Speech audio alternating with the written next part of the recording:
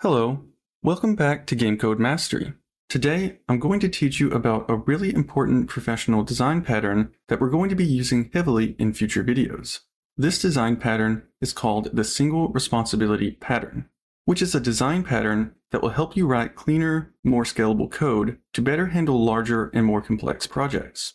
This video will primarily be focused on the practical application of this principle in a real project that is large and advanced so that you can fully understand how to actually put these design principles to use and the practical advantages of doing so. This is about taking a system that worked well and transforming it into something that could scale with ambitious game development. Something to note before we continue, this video is intended for intermediate game developers, so I expect you to already be familiar with Unreal Engine and concepts like functions, classes, and inheritance. Before we dive into the more practical examples, let me quickly explain the single responsibility principle for those who might be new to it. The single responsibility principle, or SRP, is simple. Each class or component should have one reason to change. In other words, each piece of your code should have exactly one job and do it well. Think of it like a professional kitchen. You don't have one person serving customers, cooking, and cleaning dishes all at once. If one person tries to do everything, things get messy and mistakes happen. Instead, you have different people with different roles. One person handles the cooking, another serves the customers, someone else cleans the dishes. Each person has one clear responsibility. In game development, this typically means using a technique known as composition. So what is composition and how is it more preferable sometimes to inheritance? Composition represents a part of relationship between objects. For example, a health component can be part of a player character. An attack component can also be part of a player character. So an object can be part of another object. This allows complex objects to be constructed using different components known as subobjects. And subobjects are objects that are owned by other objects. This will turn your game's code into a tidy toolbox. Each tool has its own purpose, making it easier to create and improve your game. But why does this matter? When your classes or functions have too many responsibilities, this can introduce tight coupling, which in a nutshell means that a bunch of unrelated systems are tightly connected and interdependent on each other. In a practical sense, this will result in changes to one system unintentionally breaking other unrelated systems. Even if you already use components, there's much more to making scalable code than just moving code to components. Because if the components themselves don't follow the single responsibility pattern, your code can still end up becoming a tangled mess. Let's start out by learning how to identify tight coupling. The biggest telling sign of tight coupling is if you have created what is known as a God class. A God class is a bloated class that handles everything in one place, rather than distributing responsibilities to smaller focused units. Heavily using inheritance without composition can sometimes lead to creating these God classes. God classes are a problem because a class with too many reasons to change has too many reasons to break as well. A God class can also increase coupling throughout the entire system. To help you in identifying tight coupling, I'm going to use a practical example from one of my old projects. Let me show you an early version of Advanced ARPG Combat V2 which was more tightly coupled than later versions. This makes it a great, real practical example of the problems that tight coupling can cause in large projects. The biggest issue was with the equipment system. And one of the biggest issues with the equipment system was that the equipment component had so many responsibilities that it ballooned in size and became a God class. And as you can see, there is a huge list of functions here. Now imagine you're trying to figure out how this system is working, or you want to modify something and try to customize it for your game, that would be very difficult. And you can see a lot of different things that the equipment system is handling for the combat system that it really shouldn't be, like retrieving the action montages for different actions, managing the combat type. We are also setting combat type parameters. This component also handles equipment specific functionality, running various update functions to enable or disable features based on what types of items were equipped. For the archery system, for example, we have things like um, attaching the arrow to the hand, item type unequipped, so handling unequip. You can see that this sort of controls a lot of different things. So if I decide to make any sort of major major refactors to the equipment system, let's say I don't want to handle things the way that I'm handling it here, or I need to do something more flexible, as soon as I change this implementation, it's just going to break the entire combat functionality. And that's a huge problem. Another huge problem is, so if I go in here to the character class, if I select the equipment manager component and right click, find references by name, and just look at all of the references in here to the equipment component, you can see that there are a lot. There are also on item equipped events in the character blueprint, and other things like a damage system, action system, events for status effects are here as well, and more. In this version, equipment was so deeply glued into the combat system that removing or changing it meant refactoring most of the combat code. This is a telling sign that some tight coupling might be going on.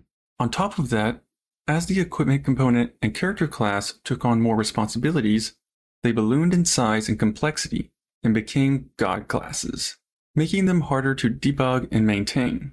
So we have correctly identified some tight coupling. Now let's talk about the solution. I was able to fix these issues in the version 3 update by redesigning the system using the framework approach. I essentially started from a blank project and rewrote the entire thing from the ground up with a single responsibility principle in mind for the entire project, which I am excited to show you so that you can see just how big of a difference that the single responsibility pattern can make for writing professional code. So I'm going to go ahead and switch to a different project now and show you the new refactored version that more closely follows the single responsibility pattern. As I mentioned earlier, for the version 3 update for Advanced ARPG Combat, I completely rewrote the entire framework from the ground up using composition and the single responsibility principle throughout the entire system. Because of that, Advanced ARPG Combat v3 is a fantastic resource and showcase for best practices using composition and the single responsibility pattern. So let's go over the framework design and talk about how it uses the single responsibility pattern effectively. In Advanced ARPG Combat v3, the Advanced Combat Framework is the core framework. So this is the core framework that was used to make the melee combat system, the magic combat system, and the ranged combat system. The Advanced Combat Framework was built with a single responsibility pattern in mind. You can see that there are multiple different folders in the Advanced Combat Framework for a bunch of different systems like, for example, the ability system, the attribute system, the collision system, and so on. Think of each folder as a building block, or individual component that is separate from the rest of the framework. Each of these building blocks can be used together to build a combat system, just like how I used them to make the melee, ranged, and magic combat systems. Or they can be used standalone as well. That is because each different component of the framework handles specific responsibilities, and each of these components are like Lego bricks, used together to build an advanced combat framework. Now, let's talk about another huge benefit of the single responsibility principle design patterns used in this combat framework. So if I open up the character class here, for the base combat character, you can see there uh, is very little functionality here as well. Here we just have some system-wide events for the character, and that's about it for the parent. There are very little functions. We have some interface functions, but not very many. And, and that's it. I used each of these components like single purpose building bricks or tools to create the combat framework itself. That's why there is so little code in the character class. This means that the framework can be much more easily integrated into existing projects. So the majority of the work would be integrating with existing character blueprints, like adding the components, implementing the interfaces, and copy-pasting the events. Now, let's talk about how the use of the single responsibility pattern is more than just components. The actual components themselves also follow the single responsibility pattern very well. Recall the old equipment system from that old outdated version 2 of the combat system. In that old version, the equipment system was glued into the entire combat system, and that equipment system was handling too many responsibilities and became huge and monolithic. But if I open the new version that was redesigned to more closely follow the single responsibility pattern, you will see a much different story. If I expand all of these functions, you will see that there is much less than half the number of functions in this component compared to the old version 2. This new implementation is also much cleaner and does laser focus on its single responsibility of managing the equipment for the owning actor. There isn't any code here for the combat system or specific gameplay systems or gameplay state changes when new types of equipment equipped. The only role this component has is managing equipment actors for a character or a pawn, which means for most games, you won't even need to modify this component unless you need to modify how the equipment is managed by the system. For gameplay specific implementations, that is handled elsewhere, separating or decoupling core system logic from game specific logic. This also means the inventory and equipment systems can now be completely removed and the combat system can still function independently from these systems.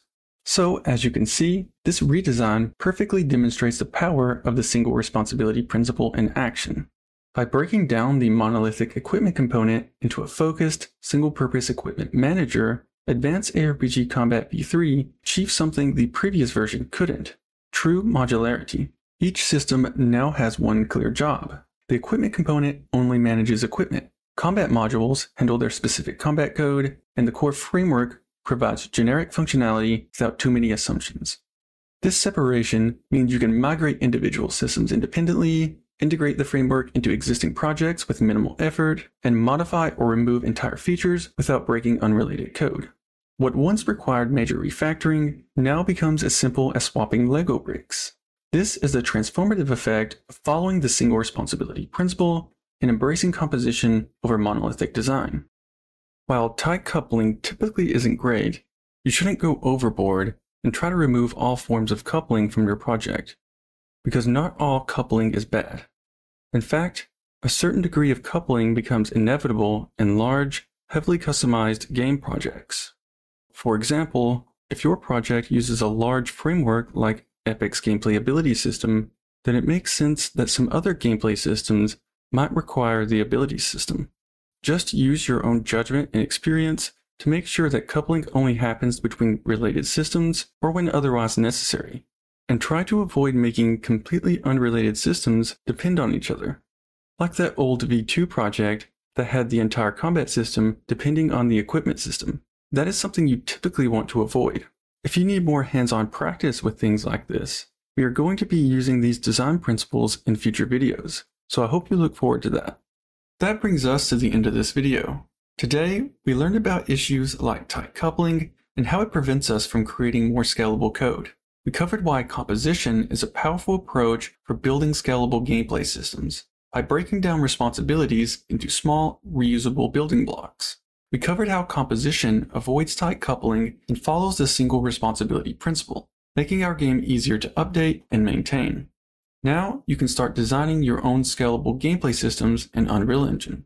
Try experimenting with creating new components, like a health component or attack component that follow the single responsibility pattern. Then attach them to different actors and see how they work together.